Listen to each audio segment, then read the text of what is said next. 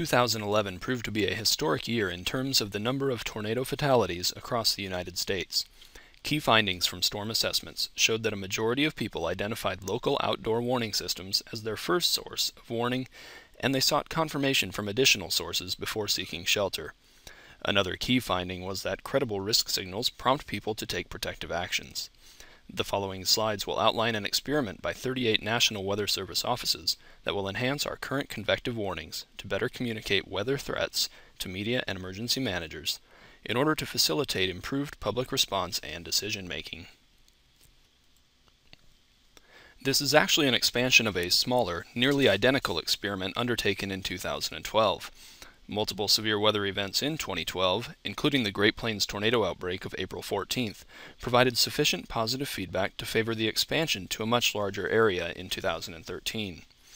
The experiment will officially be expanded from 5 to 38 National Weather Service offices on April 1, 2013, and will continue through November 30th. The impact-based warning experimental product is designed to relay more information to the media and emergency management communities during life-threatening weather events, all while making the information easy to access and identify. The project leverages this additional information in an attempt to achieve the ultimate project goal of improved public response and decision making during life-threatening weather situations.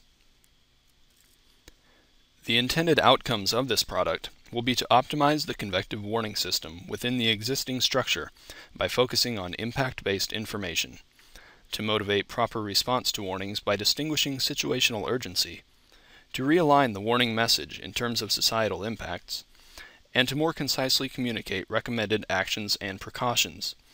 Throughout use of the product, the National Weather Service will evaluate the ability to distinguish between low impact and high impact events. The information added to convective warnings will be evident within the third bullet of the warning text through hazard, source, and impact information. Additional information will also be placed at the bottom of the warning with the addition of the tornado and tornado damage threat tags.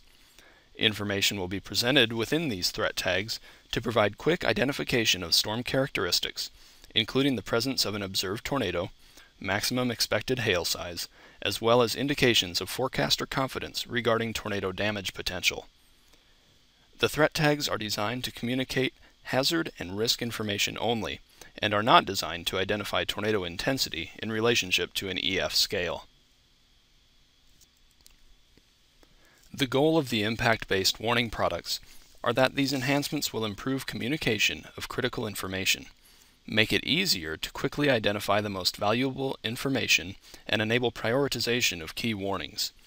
The enhancements will also provide different levels of risk within the same product, enabling the National Weather Service to express a confidence level of potential impacts and risk.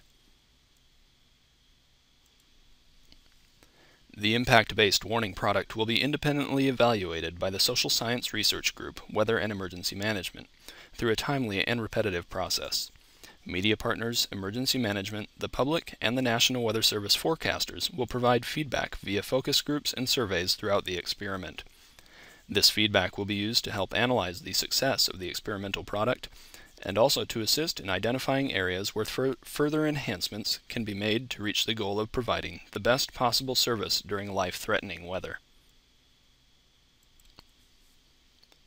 To provide feedback directly to the National Weather Service regarding this experimental product, please complete the satisfaction survey at one of the links below or contact Central Region Weather Program Manager Jim Keeney